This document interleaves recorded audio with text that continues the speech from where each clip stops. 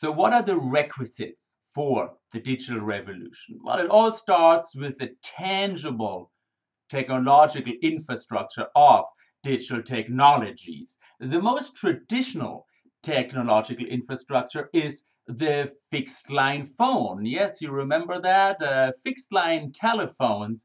These were the initial portals also to the internet. We accessed the internet through fixed line phones.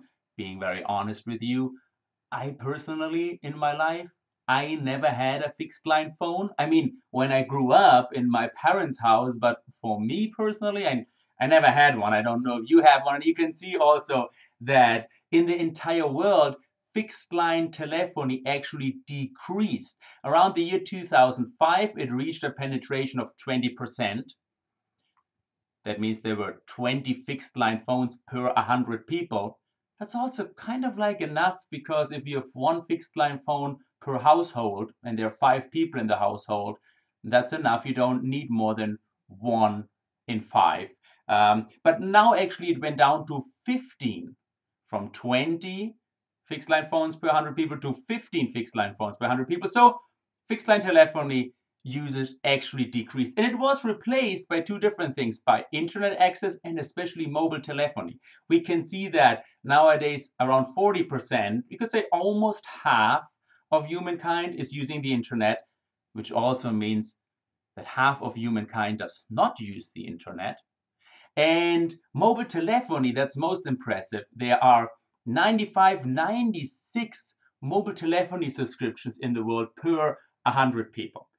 This is so impressive because electricity, for example, only reaches 80% of humankind. So there are parts of the mobile phones you can find in every little corner of the world. There are more mobile phones in the world than there is actually physical access to electricity. Mobile phones are considered the fastest diffusing technology in the history of humankind.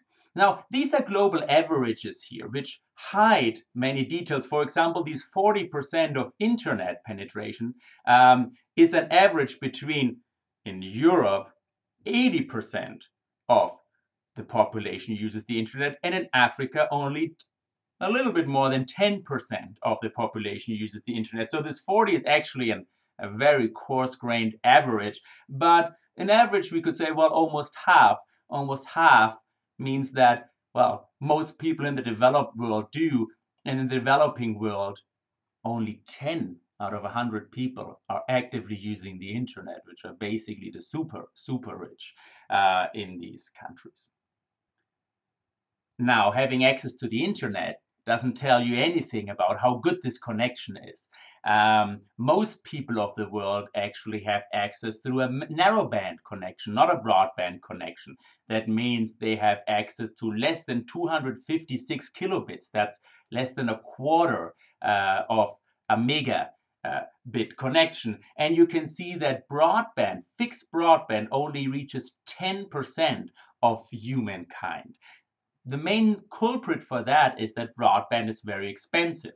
The global goal is to bring the price of broadband down to less than 5% of the income of a society, of the average income. So in the United States, let's say you would earn $1,000 per month. 10% uh, of that is $100, and 5% of it is $50. So if you earn $1,000 per month, the broadband should cost $50 or less. You can find offers in the United States for broadband for $50 or less. So uh, we achieved that actually the income in the United States is not $1,000 per month, month. The average income is rather like $5,000 per month. So we comfortably uh, in the United States are over uh, this, this global goal. However, this goal is only fulfilled in half of the world's countries.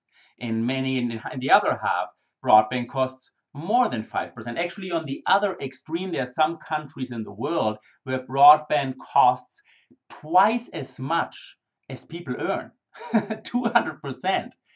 It doesn't mean that broadband costs $10,000, but it means that in these countries, people have a monthly income on average, maybe of $50, and broadband costs $100.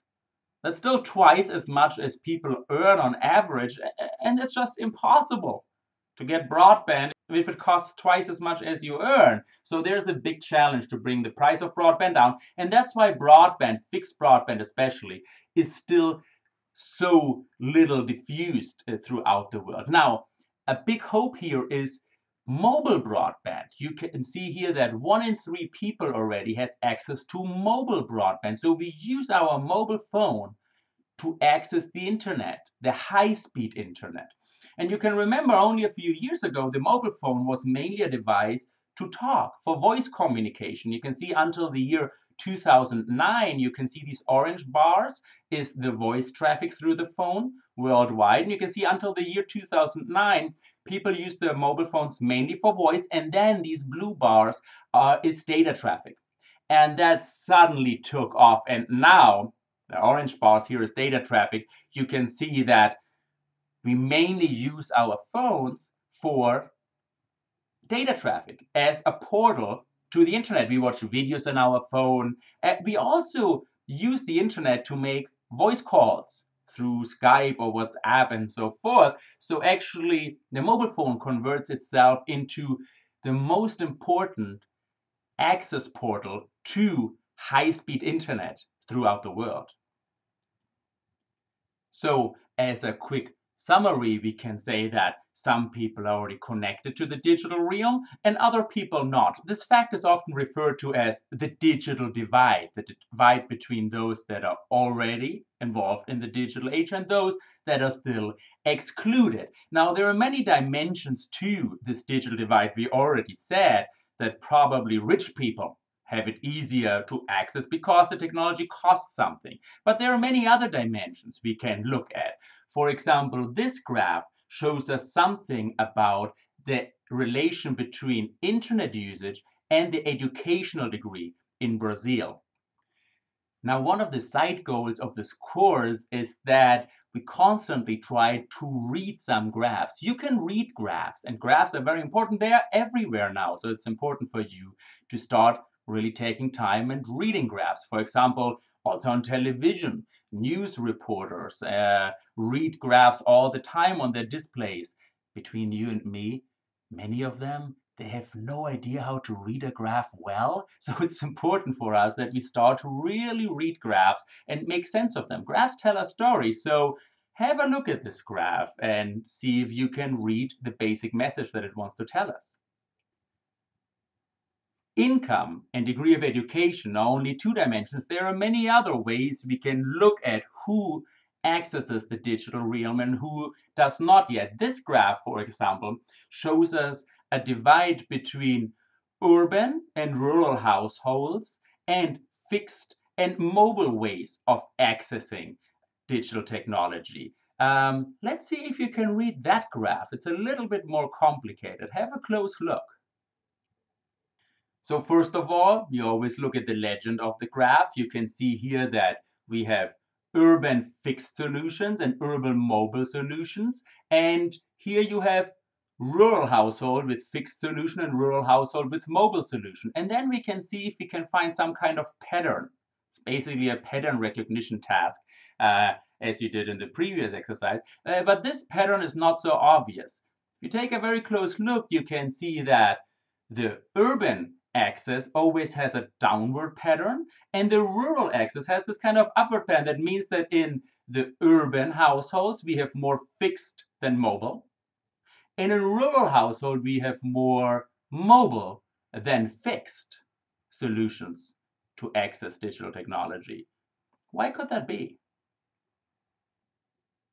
And there are many more perspectives from which we can look at who uses and who doesn't use digital technology. Besides income, education, geography, we have age, for example, as well. Here you have different countries, Mexico, Colombia, Argentina, Trinidad, and Tobago, and Chile. Um, have a look. What does this graph simply tell you?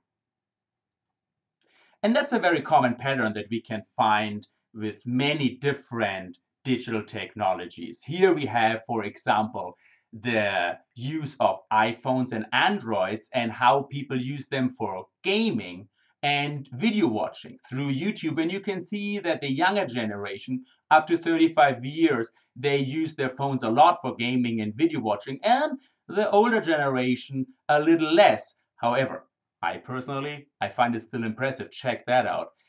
3% of the grandma and grandpas who are more than 65 years old, they use their iPhone for gaming. I, I found that pretty cool once I once I found that out. So takeaway basically is the digital divide can be looked at at many different dimensions. There are many more to them. And a very important first thing to look at when we think about the digital age is to consider which kind of technological tangible infrastructure do we have and who's using it. Now that's not sufficient, but it's absolutely necessary, a necessary first building block of the digital age.